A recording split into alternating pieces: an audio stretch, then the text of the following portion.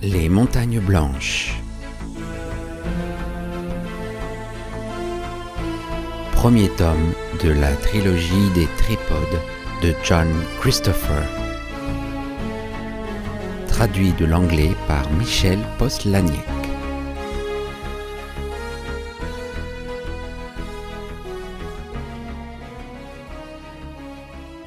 Chapitre 9 Le combat Le matin triste s'accordait avec notre humeur. Les pins étaient enveloppés d'une fine brume grise et froide qui nous réveilla tremblants alors qu'il y avait tout juste assez de lumière pour voir notre chemin. Trébuchant entre les arbres, essayant de nous réchauffer par le mouvement, nous sommes partis en mâchonnant des pommes de terre crues. Nous n'avions pas vu grand-chose de la vallée, la veille, et nous ne voyions rien alors. Il y avait davantage de lumière, mais la visibilité était limitée par la brume. Au-delà de quelques mètres, les troncs des arbres se fondaient dans un environnement monochrome. Bien sûr, aucune trace du tripode, aucun bruit non plus, seulement celui de nos pas, qui, sur le tapis d'aiguilles de pin, était si faible qu'il ne devait pas porter beaucoup plus loin que notre champ de vision. Et encore, un jour plus tôt, cela nous aurait réconfortés, mais nous savions bien que ça ne changeait rien si notre poursuivant était pour l'instant hors de vue. Il l'avait été pendant plus de vingt-quatre heures avant de revenir nous surveiller, même dans la forêt de pins. Quand nous sommes sortis du sous-bois, nous avons eu les pieds trempés jusqu'aux chevilles par l'herbe humide. Il faisait très froid. Nous avions pris une allure plus rapide qu'à l'ordinaire, mais l'exercice ne nous réchauffait pas. Je tremblais, et mes dents claquaient un peu. Nous ne parlions pas beaucoup, et ce que nous disions était bref et pessimiste. C'était inutile de demander à Paul s'il avait trouvé une solution. Il suffisait de regarder son visage allongé et malheureux, pincé par le froid, pour voir que non. La vallée se terminait et nous avons mis cap à l'ouest. D'après la carte, nous avions vu que si nous conservions cette direction pendant quelques kilomètres, nous trouverions une pente moins raide. Nous avons continué de suivre les indications de la carte automatiquement, à défaut de mieux. Un gargouillis isolé et des murmures d'eau nous ont attirés. Nous avons trouvé une rivière que nous avons longée. Nous marchions depuis plusieurs heures, mais j'étais aussi gelé et misérable qu'au départ et beaucoup plus affamé. Il n'y avait aucune trace de vie ou de nourriture. Puis, progressivement, la brume s'est levée. Le gris sale est devenu plus clair, translucide. Puis il s'est argenté et a laissé passer çà et là un rayon de lumière qui faisait miroiter brièvement la surface mouvante de l'eau avant de s'effacer. Notre morale a remonté un peu, et quand le soleil est apparu, d'abord comme un mince disque d'argent, et enfin comme un globe d'or incandescent, nous étions presque joyeux en comparaison. Je me suis dit que nous nous étions peut-être trompés en croyant que le tripode avait quelque moyen magique de nous pister. Ses capacités à nous suivre étaient peut-être dues au sens, la vue, l'ouïe, qui n'était qu'un peu supérieur au nôtre. Et s'il en était ainsi, serait-ce impossible qu'il nous ait perdus au cours du long trajet dans la brume? Ce n'était pas d'un optimisme très rationnel, mais cela me réconforta. Les derniers voiles de brume se sont effilochés, et nous avons vu la large vallée ensoleillée que nous traversions, encadrée de hauteurs noyées dans les nuées blanches. Des oiseaux chantaient, à part eux, nous étions entièrement seuls, jusqu'à ce que j'entende un craquement lointain sur le flanc de la colline, et que je le vois, à demi voilé par les nuages, mais hideusement réel.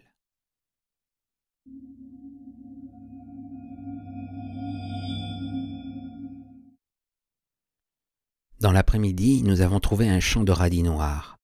Nous en avons arraché quelques-uns pour les manger. Leur goût était amer et piquant, mais c'était de la nourriture. Nous avons quitté la vallée et commencé la longue ascension des pentes assez douces mais plutôt broussailleuses. Et le tripode était à nouveau hors de vue, mais pas hors de nos pensées. L'impression d'impuissance, celle d'être pris dans un piège qui devait se refermer à un moment donné, allait s'accentuant.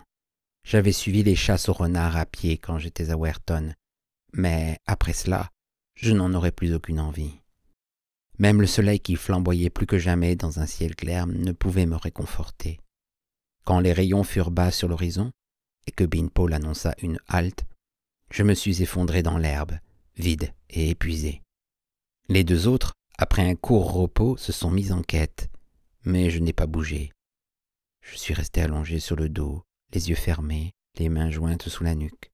Je ne bougeais toujours pas quand ils sont revenus discutant sur la possibilité ou non de manger des serpents. Henry en avait vu un, mais l'avait raté, et en se demandant s'ils avaient assez faim pour en manger cru, puisqu'il n'y avait pas de bois pour faire du feu. J'avais toujours les yeux fermés lorsque Henry, d'une voix très différente et plus aiguë, a dit Qu'est-ce que c'est? J'étais persuadé que ce n'était pas quelque chose d'important. Binpole a dit quelques mots à voix basse que je n'ai pas compris. Ils ont chuchoté ensemble. Je gardais les yeux fermés face au soleil qui aurait bientôt disparu derrière les collines. Ils ont chuchoté de nouveau, puis Binpole a dit Will Oui Ta chemise est déchirée sous le bras. J'ai répondu Je sais, je l'ai accrochée à un buisson épineux au bord de la rivière. Regarde-moi, Will. J'ai ouvert les yeux et je l'ai vu qui m'observait attentivement. Il avait une expression étrange. Qu'est-ce que tu as sous le bras? Je me suis assis. Sous le bras? De quoi parles-tu? Tu ne le sais pas? J'avais mis ma main droite sous mon bras gauche. Non, l'autre. Je me suis servi de ma main gauche cette fois pour toucher mon aisselle. J'ai senti quelque chose dont la texture n'était pas celle de la peau, mais une texture plus lisse et plus dure. Quelque chose comme un petit bouton de métal, sur lequel mes doigts suivirent de légères striures, comme les mailles d'un filet. Je me suis démanché le cou pour essayer de le voir, mais je n'ai pas pu. Il semblait incrusté dans ma peau, sans séparation nette entre les deux. J'ai levé les yeux, et j'ai vu les deux autres qui m'observaient. Qu'est-ce que c'est C'est le métal des résilles, dit Paul. Il s'enfonce dans la peau comme le font les résilles. Le tripode, dis-je. Quand il m'a pris près du château, croyez-vous? Je n'avais pas besoin de finir ma phrase. Leur visage me disait ce qu'ils pensaient. Je dis avec colère. Vous ne croyez pas que je l'ai guidé? Que je suis sous ses ordres? Henry dit. Il nous a suivis quelques jours après que tu nous as rejoints. Nous ne pouvons pas l'exclure, n'est-ce pas? As-tu une meilleure explication? Je les regardais fixement. Ce mystère de la capacité du tripode à nous trouver chaque fois et celui du petit bouton de métal soudé à mon corps on ne sait comment, on ne pouvait pas les séparer. Ils devaient être en corrélation. Et pourtant mon cerveau était indépendant. Je n'étais pas un traître. J'en avais la même certitude que celle d'être vivant. Mais comment le prouver? Je n'en voyais pas le moyen. Henry s'est tourné vers Binpole. Qu'allons-nous faire de lui? Binpole a répondu. Nous devons réfléchir soigneusement avant de faire quoi que ce soit. Nous n'en avons pas le temps. Nous savons qu'il est un des leurs. Il leur envoie des messages avec son cerveau. Il leur a sans doute envoyé un pour dire qu'il était découvert. Ils vont certainement arriver bientôt. Will nous a raconté que le tripode l'avait attrapé puis relâché, dit Binpole. Qu'il était inconscient et ne se rappelait rien. Si son cerveau avait été asservi au tripode, aurait-il dit cela? Et n'aurait-il pas fait attention, une fois sa chemise déchirée, plutôt que s'allonger en nous le laissant voir? En outre, c'est très petit, pas comme les résilles, et pas près du cerveau. Mais il nous repère grâce à cela. Oui, je le crois aussi. La boussole indique le nord, parce qu'il doit y avoir beaucoup de fer là-bas. Si on apporte du fer tout près d'elle, c'est lui qu'elle désigne. On ne peut pas voir ni sentir la chose qui lui fait faire cela. Le tripode a pris Will quand il s'échappait du château alors que tout le monde dormait. Il n'était pas coiffé, mais il ne l'a pas été. Peut-être le tripode était-il curieux de savoir ce qu'il allait faire, où il allait, et il a mis cette chose en lui qu'il pourrait suivre comme une aiguille dans une boussole. C'était cohérent. J'étais sûr qu'il disait vrai. Je pouvais sentir le bouton sous mon bras à chaque petit mouvement que je faisais. Pas douloureux, mais je savais qu'il était là. Pourquoi ne l'avais-je pas senti avant? La même idée avait dû traverser l'esprit de Henry. Mais il a dû s'en apercevoir, dit-il. Un truc comme ça. Peut-être pas. As-tu dans ton pays des gens qui font des démonstrations avec des animaux, ceux qui se balancent en l'air entre des bars, des colosses et autres Des cirques, dit Henry. J'en ai déjà vu un. Dans un qui est venu dans ma ville, il y avait un homme qui faisait des choses étranges. Il disait aux gens de dormir et d'obéir à ses ordres, et il faisait ce qu'il leur disait, même des choses qui leur donnaient l'air idiot. Quelquefois les consignes duraient longtemps. Un marin infirme de la hanche a marché correctement pendant une semaine. Ensuite la douleur et l'infirmité sont revenues. Maintenant je le sens, dis-je. Nous te l'avons montré, dit Binpool. Ça rend peut-être la consigne. Henry dit avec impatience. Rien de tout cela ne modifie les faits. Le tripode peut le suivre grâce à ce truc et nous le capturer en même temps que lui. J'ai compris ce qu'il voulait dire. Il n'y a qu'une chose à faire, dis-je. Laquelle? demanda Binpole. Si nous nous séparons et que je n'aille pas dans la même direction que vous, il pourra encore me suivre, mais vous serez tranquille. Aller aux montagnes blanches par un autre chemin Mais tu vas l'y emmener, c'est très probablement ce qu'il souhaite. J'ai hoché la tête. Je n'irai pas là-bas. Je retournerai sur mes pas. Et tu seras repris. Et coiffé? Je me suis rappelé l'instant où j'avais été désarçonné d'Aristide, le sol s'amenuisant sous moi. J'espère ne pas être devenu blanc de peur à cette pensée. J'ai dit Il faudra d'abord qu'il m'attrape. Il t'attrapera, dit Binpole. Tu n'as aucune chance de t'échapper. En essayant de ne pas penser à ce que cela entraînait, j'ai dit Je peux au moins m'éloigner. Il y eut un silence. C'était, comme je l'avais dit, la seule chose à faire, et ils étaient forcés de l'accepter. Il n'y avait aucune raison qu'ils disent quelque chose. Je me suis levé en détournant les yeux. Binpole a dit Attends. Quoi? J'ai dit qu'il fallait réfléchir. Et j'ai réfléchi. Cet objet sous ton bras, il est petit, et bien qu'il soit fixé à la peau, je ne pense pas qu'il s'enfonce beaucoup. Il marqua une pause et Henry dit Alors Binpole me regarda. Il est loin de la grosse veine, mais ça te fera mal si nous l'extirpons. Je n'avais pas vu plus tôt où il voulait en venir, et l'espoir me donna soudain le vertige.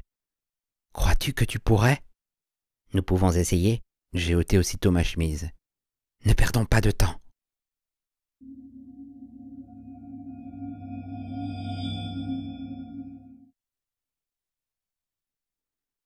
Binpole n'était pas si pressé.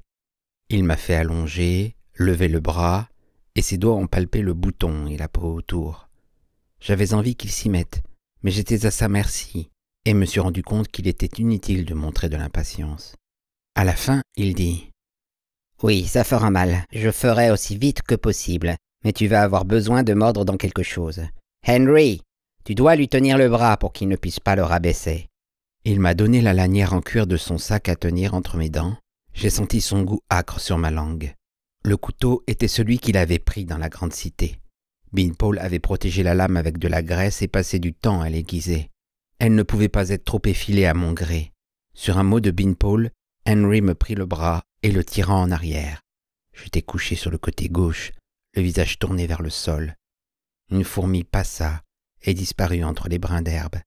Puis ce fut le poids de Binpole accroupi sur moi, sa main gauche palpa encore sous mon bras en suivant les contours du bouton. J'essayai de mordre dans le cuir quand il fit la première incision. Tout mon corps a sursauté et j'ai failli libérer ma main de l'étreinte de Henry. La douleur a été atroce. Ce fut suivi d'une autre incision, et d'une autre encore. J'essayais de me concentrer sur la lanière que mes dents semblaient presque traverser. Je transpirais tellement que je sentais des gouttes rouler sur mon visage et j'en vis une tomber dans la poussière. Je voulais crier d'arrêter pour me laisser reprendre mon souffle, et j'étais sur le point de recracher la lanière pour pouvoir parler, quand un nouveau coup me la fit mordre de plus belle, ainsi que ma langue. J'eus le goût chaud et salé du sang dans la bouche, et les larmes aux yeux. Puis de très loin j'entendis la voix de Binpole. Tu peux le lâcher maintenant. Et ma main et mon bras furent libres. La douleur, toujours violente, était douce comparée à celle qu'elle avait été un peu plus tôt. Pinpole s'est levé et j'ai essayé d'en faire autant. Pour cela, il fallait que je bouge mon bras et j'en ai eu la nausée. Comme je le pensais, a dit Binpole, c'est seulement en surface. Regarde. Débarrassé du baillon, j'ai regardé ce qu'il tenait dans sa main. C'était gris argenté, environ deux centimètres de diamètre, plus épais au milieu et s'amenuisant sur le pourtour. C'était compact mais donnait l'impression de centaines de petits fils juste sous la surface. Des bouts sanglants de ma peau y restaient attachés. Binpole toucha le bouton avec son doigt. C'est curieux, dit-il. J'aimerais bien l'étudier. C'est dommage d'être obligé de le laisser. Son expression révélait un intérêt tranquille. Henry, qui observait aussi, avait le visage d'une teinte verdâtre. Devant les lambeaux de chair adhérant encore, la nausée m'a repris et cette fois j'ai dû me détourner pour vomir. Quand je fus remis, Binpole examinait toujours le bouton. Pantelant, je dis Jette ça, et partons. Plus loin nous serons d'ici, mieux ça vaudra. Il acquiesça à regret et le lâcha dans l'herbe. Il me dit Ton bras te fait-il très mal? Je n'aimerais pas servir pendant une heure ou deux. Servir? Au cricket. C'est un jeu que nous avons chez nous. Oh, peu importe, allez, partons. Ça me fera oublier. Il y a une herbe qui soigne les blessures. Je la chercherai en chemin. J'avais perdu pas mal de sang et ça coulait encore. Comme ma chemise en avait déjà épongé une partie, je l'ai roulée en boule pour me la mettre sous le bras. C'est ainsi que je me suis mise en route. L'idée optimiste que la marche me ferait oublier la douleur ne se concrétisa pas vraiment. J'ai continué à souffrir autant, sinon plus, mais j'étais débarrassé du bouton, et chaque pas m'en éloignait un peu plus. Nous étions toujours en région sauvage, mais assez découverte. Le soleil se couchait sur notre droite. De l'autre côté, nos longues ombres marchaient presque de front. Nous ne parlions pas. Dans mon cas, j'étais trop occupé à serrer les dents. Ça aurait été une belle soirée paisible si on avait été d'humeur à l'apprécier, calme et tranquille. Pas un bruit, sauf... Nous nous sommes arrêtés pour écouter. Mon cœur parut se contracter et l'espace d'un instant la douleur fit place à la peur. Ça venait de derrière, faible encore, mais augmentant à chaque seconde, l'horrible stridulation chevrotante que nous avions entendue dans la cabine de l'Orion, le cri de chasse des tripodes.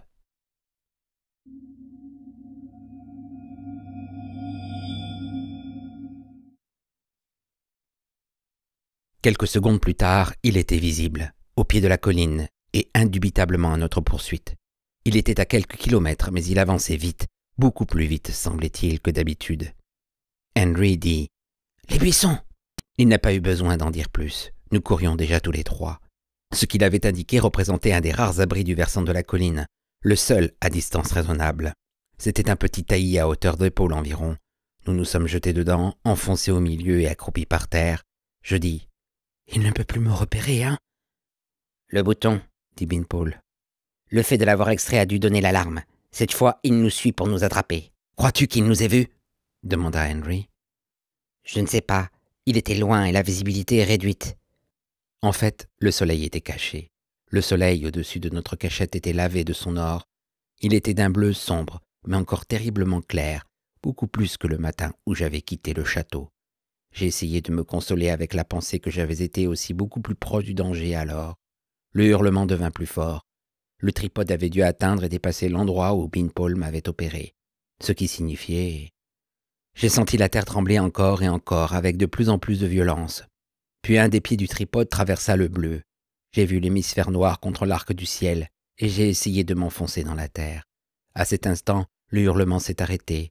Dans le silence, j'ai entendu le sifflement différent de quelque chose qui cinglait l'air, et, regardant craintivement, j'ai vu deux ou trois buissons déracinés jetés au loin. À côté de moi, Binpol a dit Il va nous avoir. Il sait que nous sommes ici. Il peut arracher les buissons jusqu'à ce que nous soyons bien visibles. Ou nous tuer en les arrachant, a dit Henry. Si cette chose nous heurte. Je dis Si je me montrais. Pas la peine. Il sait que nous sommes trois.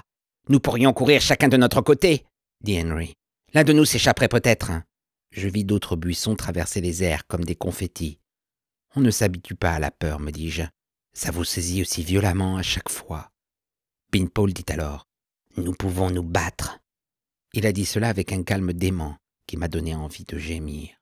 Henry a dit Avec quoi? Nos poings? Les œufs de métal.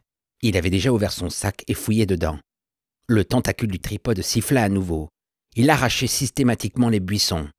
Quelques passages supplémentaires, une demi-douzaine au plus, et il nous atteindrait. C'est peut-être ce que nos ancêtres ont utilisé pour combattre les tripodes, c'est sans doute pour cela qu'ils étaient dans le chemin de fer souterrain, et ils en sont sortis pour se battre, je dis. Et ils ont perdu. Comment crois-tu? Il avait sorti les œufs. Que faire d'autre? Henry dit. J'ai jeté les miens. Ils étaient trop embêtants à transporter. Le tentacule traversa les buissons et cette fois nous fûmes éclaboussés de terre quand il les extirpa. Paul dit Il y en a quatre. Il m'en donna un et un autre à Henry. Je garde les autres. Après avoir tiré sur l'anneau, comptez cinq. Redressez-vous, puis lancez-les sur le pied qui est le plus proche. L'hémisphère est trop haut. Cette fois, je vis le tentacule entre les buissons, alors qu'il en arrachait encore. Paul dit Maintenant Il tira les anneaux de ses œufs, et Henry aussi. J'avais pris le mien dans la main gauche et j'ai eu besoin de le mettre dans la droite. Ce faisant, la douleur me déchira les selles, et je l'ai lâché. Je le cherchais par terre quand Paul répéta Maintenant Ils se redressèrent. J'attrapais le mien, ignorant la douleur de l'instant, et me relevais aussi. J'ai arraché l'anneau au moment où ils jetaient leur œuf. Le pied le plus proche du tripode était planté sur la colline, à 30 mètres environ au-dessus de nous. Le premier lancer de Beanpole fut inopérant, roula à plus de 10 mètres de sa cible. Mais son second et celui de Henry tombèrent près du but. L'un d'eux toucha le métal avec un bruit que nous entendîmes. Ils explosèrent presque aussitôt. Les trois explosions furent presque simultanées et des gerbes de terre et de poussière jaillirent. Mais elles ne cachèrent pas un fait évident. Les œufs n'avaient pas du tout endommagé le tripode. Il était aussi solide qu'avant, et le tentacule sifflait cette fois directement vers nous. Nous nous sommes mis à courir, du moins j'ai essayé de le faire, parce que, avant que je ne m'élance, il m'avait saisi par la taille. J'ai tenté de me libérer avec ma main gauche, mais c'était comme essayer de faire céder du roc. Il me tenait avec une précision étonnante, serré mais pas trop, et il m'a soulevé comme j'aurais soulevé une souris. Sauf qu'une souris peut mordre et que je ne pouvais rien faire contre la dure surface brillante qui me tenait. J'étais emporté de plus en plus haut. Le sol rapetissait sous moi, ainsi que les silhouettes de Beanpole et de Henry. Je les ai vus courir comme des fourmis. J'étais à hauteur de clocher, plus haut encore. J'ai levé la tête et vu l'ouverture dans le flanc de l'hémisphère. Je me suis rappelé l'œuf de fer toujours serré dans ma main droite. Depuis combien de temps avais-je tiré sur l'anneau? Dans ma peur et ma confusion, j'avais oublié de compter. Plusieurs secondes. Il ne mettrait pas longtemps à exploser. Le tentacule me rapprochait du trou. Il était à quinze mètres, dix mètres, huit mètres. Je me suis redressé en prenant appui contre la lanière qui m'en serrait. La douleur m'a traversé le bras, mais je l'ai ignoré. J'ai lancé l'œuf de toutes mes forces et avec le plus de précision que j'ai pu. J'ai d'abord cru que j'avais manqué mon coup, mais l'œuf heurta le bord de l'ouverture et ricocha à l'intérieur. Le tentacule continuait à m'emporter. Six mètres, quatre, trois. Bien que je fusse plus près, l'explosion n'a pas été aussi forte que les autres, sans doute parce qu'elle eut lieu dans l'hémisphère. Il n'y eut qu'un bruit sourd et plutôt creux. Le désespoir revint.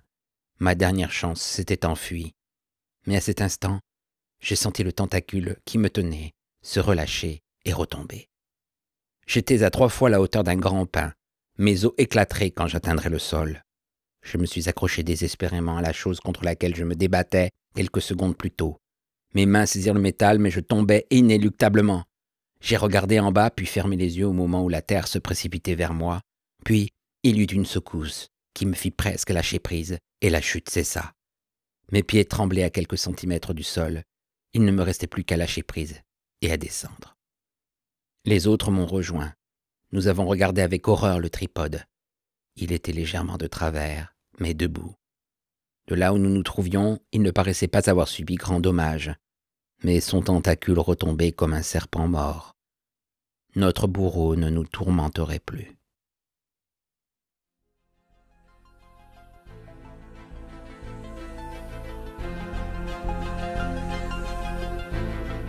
C'était Les Montagnes Blanches, tome 1 de la trilogie des tripodes, de John Christopher. Chapitre 9 Le combat.